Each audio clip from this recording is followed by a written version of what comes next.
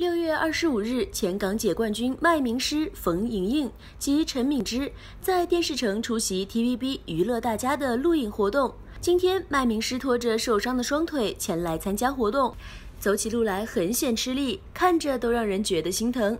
问及情况，才知是前两天学习冲浪所致。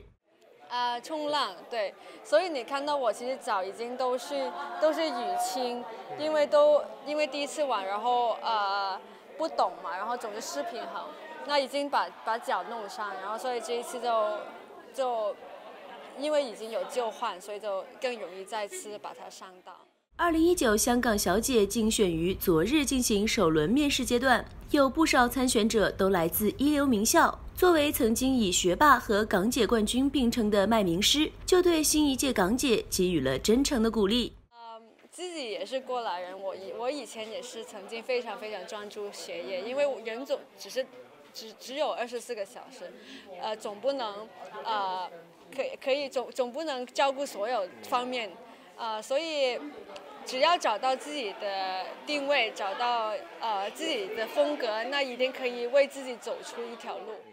同场的陈敏之笑指自己是一个很喜欢玩游戏的人，不过在玩的过程中，经常都是被别人戏弄，因此被身边玩游戏的朋友笑称“猪一般的朋友”。其实玩游戏我不算太好的，呃，我很喜欢玩，但是都是被人家玩，每一次都是很蠢蠢的，呃，比较慢的那一种，呃，好像人家说是猪一般的朋友，我是我我就是猪一般的朋友。